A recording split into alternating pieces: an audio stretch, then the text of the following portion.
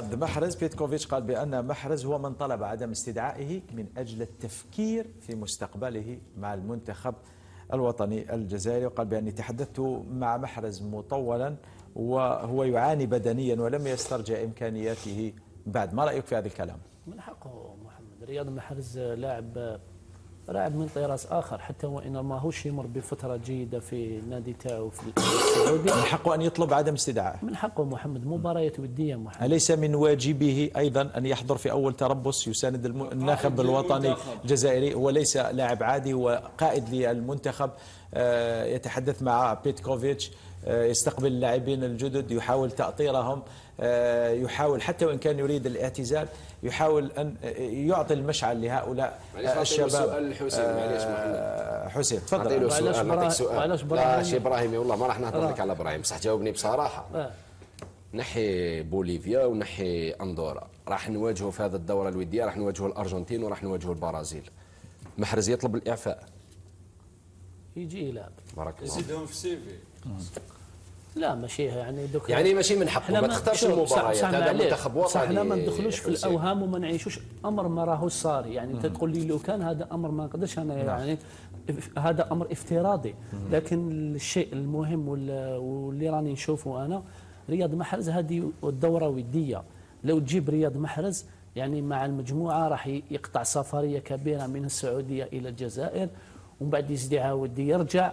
يعني من الناحيه البدنية هو راه تكلم محمد واش قال لك؟ قال لك من الناحية البدنية من الناحية البدنية رياض محرز ما ولاش يقدر يعني يروح لك يعني الجزائر يزيد يعاود يروح للسعودية. هذه أشياء كلها راح تتعبه وهذه أشياء كلها راح تلعب له الدور.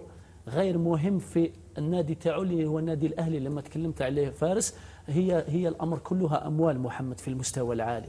الأمور كلها أموال لماذا عدلي يحب يلعب في المستوى العالي كما قال هو يعني. لا أعتقد أن حتى قرار محرز له علاقة بالمال في هذه القضية. لا ليس المال محمد لازم يواجه لازم يواجه ال- الإدارة إدارة النادي الأهلي لازم يو- أي يواجه مواجهة. الجماهير لازم يكون عند حسن ظنهم محمد شكون اللي راهم يخلصوا فيه ليس المنتخب الوطني. هذا أمر لكن دعنا استثنائي. نتفق دعنا نتفق بأن رياض محرز لا يؤدي بذاك الشكل الباهر الذي كان يقدمه في إنجلترا، رياض محرز مغضوب عليه في في النادي الأهلي. في النادي الأهلي، أحيانا يقدم آه، مباريات آه، جميلة واحصائياته تكون عالية وأحيانا أخرى يمر جانبا ولا يؤدي آه، ولا يبلي البلاء الحسن. آه، ألا تعتقد بأنه واحد من أسوأ المواسم في تاريخ رياض محرز هذا الموسم الذي يلعبه في السعودية؟ لا محمد من ناحية الإحصائيات ليس الاسوء لو تروح تشوف في النادي الأهلي ال- ال- اللاعبين الكبار اللي راهم معه فيرمينيو وسان ماكسيمان ولاعبين آخرين إلا كيسي. كيسي هو رقم واحد. لا ليس مقارنة بزملائه وإنما مقارنة بالمواسم الكبيرة التي كان يؤديها محرز في الدوري الإنجليزي. طبيعة الحال. لو تشوف محرز آه، ليستر سيتي أو محرز مانشستر سيتي محرز الأهلي بعيد كل البعد عن آه، محرز سيستدعى لو كان peut-être qu'il a اسمح لي فارس deux secondes peut-être qu'il a anticipé la non, une, une non-convocation par rapport à son statut.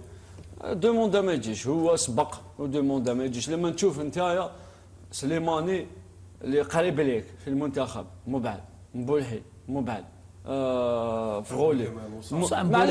يا ميك معليش معليش في معليش. ليست مبولحي خلاص ما لعبش. خلينا باش نكملوا الفكرة واش حبيت نقول. لما تشوف إنه نواه واحد النواه كانت متشكلة داخل المنتخب وبعيده ثلاث أطراف منها. ما من تشك باللي انت راك الطرف الرابع القوي فيهم. دوك les trois piliers آه، تاع تنحاو وقعدت انت الرابع automatiquement لكن حالة رياض محرز لا تشبه حالة اللاعبين الآخرين لقاء في كأس إفريقيا طرح تساؤلات نعم. لأنه مصاب منذ ذلك الوقت نعم. وفي ذلك الوقت قالوا أنه ليس مصاب الحارس وخلاه. ومنذ ذلك الوقت هو مصاب فقط في نقطة نعم. محرز آه نظن انه كل اللاعبين اللي تنقلوا من البطولات الأوروبية إلى البطولات الخليجية نقص مستواهم بطريقة رهيبة عدا. رونالدو اللي هو يعتبر ماكينه رونالدو اللي ما- بدنيا بقى نظن أنه محرز حتى كيسي بقى بدنيا. نعم كي لاعب أو لاعبين أو ثلاثة ماكسيموم نظن أنه محرز انخفض مستوى بدنيا بطريقة رهيبة. نعم نعم. شوف ما نكذبوش على بعضنا. الدوري السعودي باستثناء كريستيانو رونالدو اللي دائما عنده طموح عنده باش يزيد يسجل اهداف ويخلي البصمة تاعو عبر التاريخ. باقي اللاعبين الدوري السعودي بالنسبة إليهم هي محطة تقاعد هو فقط. وجمع أموال. أكيد أكيد. أكيد. تا محرز آه، هل تعتقد أنه محرز لديه نفس التحفيز الذي كان يملكه في نادي مانشستر سيتي يلعب على رابطه أبطال أوروبا على الدوري الإنجليزي حتى المنظومة. هاد- هاد وعنده الأسبوع منافسة على. المنصب الأساسي. الأسبوع اللي بعده يواجه تشيلسي الأسبوع اللي بعده يواجه توتنهام كيف في محمد تدريبات في الوزن في بارك الله في كل جاء حاجة المقارنة. بالتفصيل ما كاش مقارنة شوف يحدث له تقريبا نفس الأمر الذي يحدث مع بنزيما نعم. بنزيما أيضا تقريبا اختفى بعد رحيله من ريال مدريد اختفى لذلك التحفيز ليس نفسه التحفيز يلعب آه، دور مهم ومهم جدا بالنسبة للاعب هناك انتقادات واسعة أيضا لرياض محرز في آه، السعودية. تحدثنا آه، في هذا البرنامج قلنا أحيانا تكون الانتقادات منطقية وأحيانا تكون غير منطقية وغير موضوعية. لكن بالنسبة لي أنا لا أقارن رياض, محرز بأقرانه وبزملائه في, ال- في النادي السعودي. لو أقارنه بهم طبعا أفضل منهم. لكن أقارن رياض محرز الأهلي السعودي برياض محرز مانشستر سيتي برياض محرز ليستر سيتي حتى برياض محرز الذي كان يلعب في لوهاف في الدوري الفرنسي. أعتقد بأنه من أسوأ مواسم آه، رياض محرز. آه، لا أدري ماذا حدث له. عملية الانتقال لم تكن موفقة آه، لحد الآن. الشطر الثاني من الموسم غير موفق تماما. ما حدث له في النادي آه، وانخفاض مردوده في النادي انعكس على المنتخب.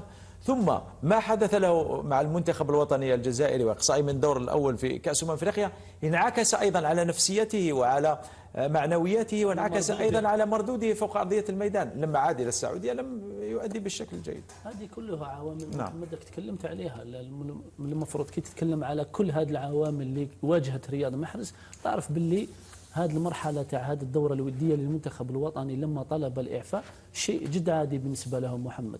يتعرض لعدة ضغوطات ضغ- ضغوطات أن هذا النادي يصرف عليه أموال باهظة وكبيرة. آه، يعني لو آه، ما لعبش يعني مدة قرابة 20 يوم في في نادي الأهلي لما عاد يعني العودة تاعو كانت تدريجية لما استرجع العافية تاعو. المشكل تاع اللاعبين اللي يلعبوا في في المنتخبات الإفريقية دائما عندهم مشكل مع النوادي تاعهم أنه غياب لمدة شهر.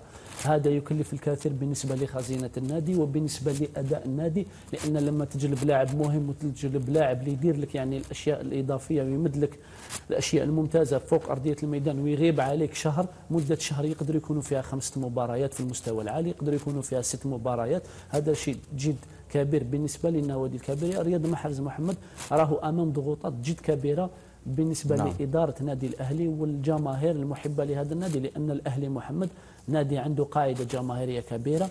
نادي اللي كبير في السعودية وعلى غرار زمن نذكروا لما يوسف بلايلي لعب التمة كانت عنده انتقادات لاذعة أي لاعب يلعب في هذا النادي دائما ما تكون عنده انتقادات نادي الهلال نادي النصر نادي الأهلي نادي يلعب فيه بنزيما كما تكلم آمين الاتحاد. هذو نوادي كلها كبيرة في السعودية محمد.